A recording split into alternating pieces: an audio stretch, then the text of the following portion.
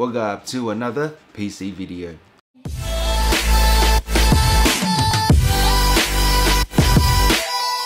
In this video, I want to share with you guys a motherboard that I came across that is very unique in that it can read all generation CPUs from 6, 7, 8 and 9.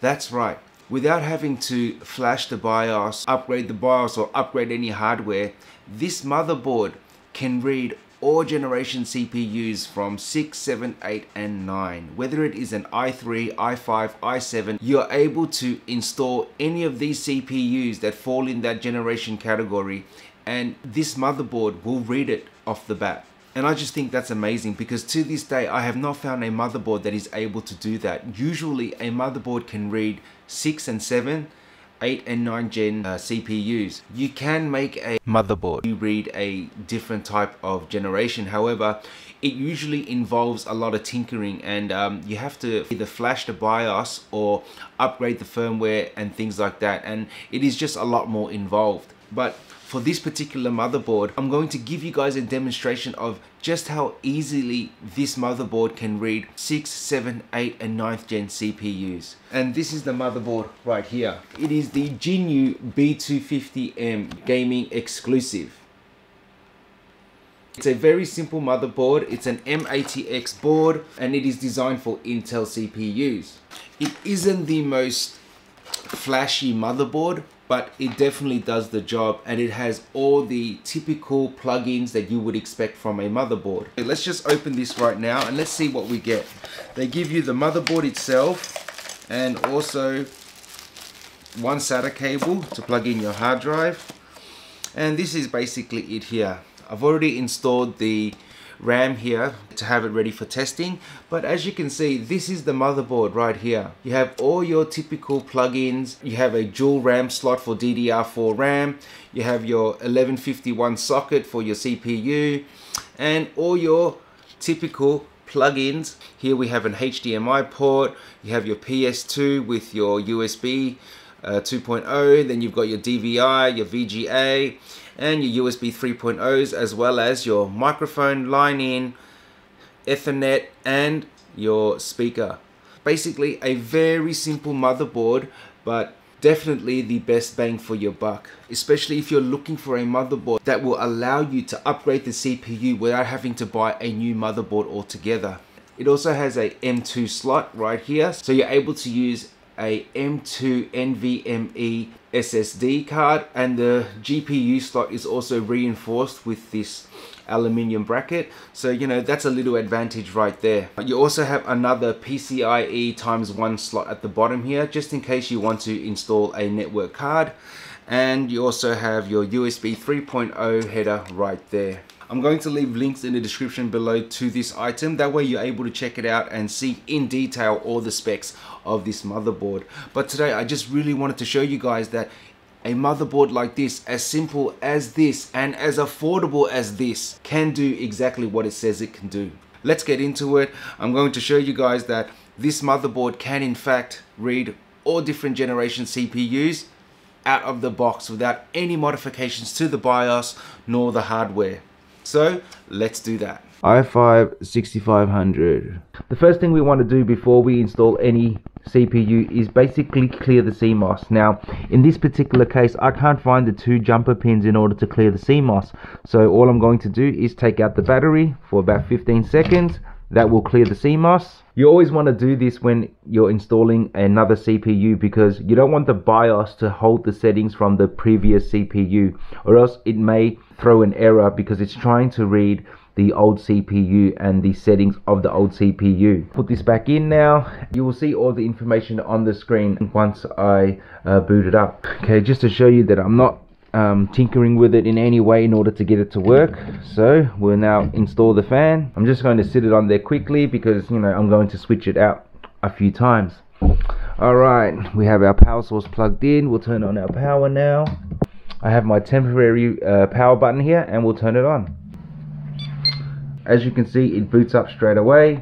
I have a hard drive already with Windows pre-installed. So I'm going to boot up Windows right now and I'm going to show you guys the stats of the PC. So we're going to boot up Speccy just so you guys can see that it is that CPU. Alright, so as you can see right there, it is running the i5 6500 right there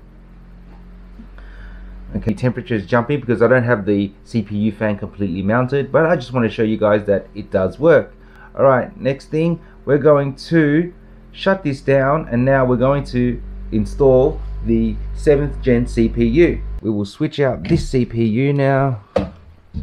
Take this one out. And here is the i5 7400 you're going to see it on the screen anyway. We're going to install this one. Clear the CMOS once again. Take out the battery for a second as we install the CPU now we'll turn it back on again. And we should get one beep as always I'll bring up the stats once again so you can see for yourself that it is in fact a i5 7400 CPU. Once again, I'm going to open up Speccy just to show you guys. There it is right there. The i5 7400 at 3 gigahertz, 16 gigabyte RAM. And there you go. So there is the i5 7400. We're going to jump into the next generation and uh, you're going to see that it does read every single one. Going to grab our 8th gen CPU. This is the 8th gen CPU. Is the i5 8600K a magnificent CPU. I highly recommend if you guys are on a budget to get a CPU like this. You are able to overclock it all the way up to 5.2 gigahertz. The overclocking qualities of this CPU is absolutely amazing. Once again, we'll put in our, put on our fan, we'll clear the CMOS, put it back in now, and now we'll turn it on. We've already gone through 6, 7, and 8 gen. And the fact that this motherboard can do that is just crazy. Like I said, I've never stumbled across a motherboard that can do this. And the fact that this does it is just crazy. If you're someone who likes to keep it more simple, then, you know, a motherboard like this will definitely do the job. So as you can see right now, on the screen we have the Intel Core i5 8600 at 3.6 gigahertz. So already we've gone through the 6500, the 7400 and now the i5 8600K. So just to prove to you guys that it it is the i5 8600K right there. We're going to switch back to another CPU and this time we're going to install a 9th gen. We're going to put in the i3 9100F.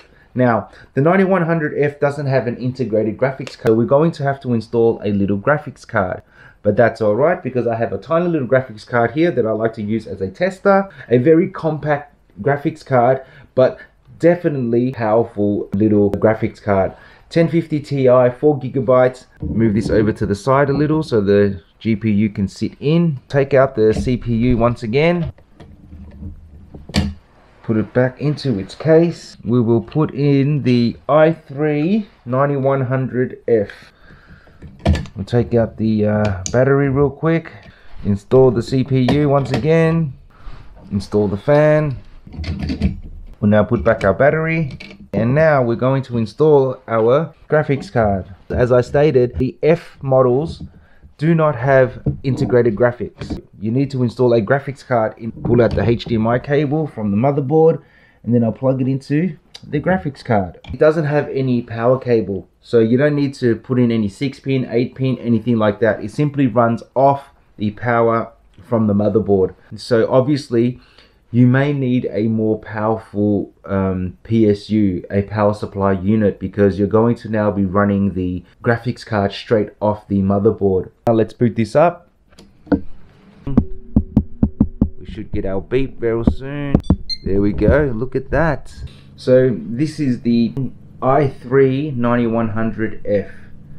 Four cores, four threads, 9th gen CPU, definitely on the budget side of things. So as you can see right here, we have the i3 9100 at 3 3.6 gigahertz running the GeForce GTX 1050 Ti Zotac graphics card.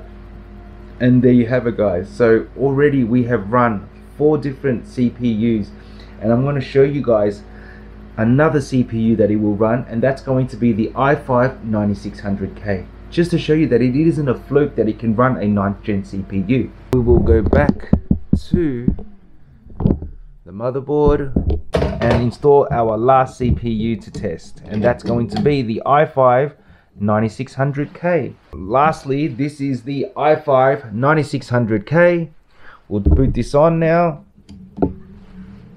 As you can see here, I'm doing this live. I'm not tinkering with it before I'm not messing with it before I plug it in. I'm not going to BIOS and doing anything special. I simply plug it in, turn it on, and I reset the BIOS by removing the battery. And that's all there is to it. You really don't have to do anything. You just have to make sure you reset the BIOS before installing a another CPU and it really is that easy guys. Alright, so as you can see here, we now have the next CPU installed I am going to go into Speccy once again to show you that it is in fact the i5 9600K. So as you can see right now, there you have it guys, the i5 9600K at 3.7 gigahertz. I just wanted to show you guys that it is in fact possible to have a motherboard to read all 6, 7, 8, 9 gen CPUs. I just really wanted to share this with you guys in case you're one of those people out there that is looking for a cheap alternative to a motherboard that will allow you to upgrade your CPU without having to change your motherboard at all. And this is a very cheap motherboard. I got this motherboard for only 120 Australian dollars shipped. Is definitely the motherboard to get if you're interested in being able to use to to read all generation CPUs from 6 to 9. And that brings us to the end of the video. So if you found this video helpful guys, please give it a thumbs up. And as always, don't forget to like, share, comment, subscribe. Ring that notification bell in order to keep up with the uploads. Until next time, this is Mike with Mikeyz Vlogz, signing off. Stay tuned for my next video guys for all you W203 lovers out there. I will be changing out the indicators to dynamic ones. So stay tuned for that video and I'll see you in the next one. Bye for now.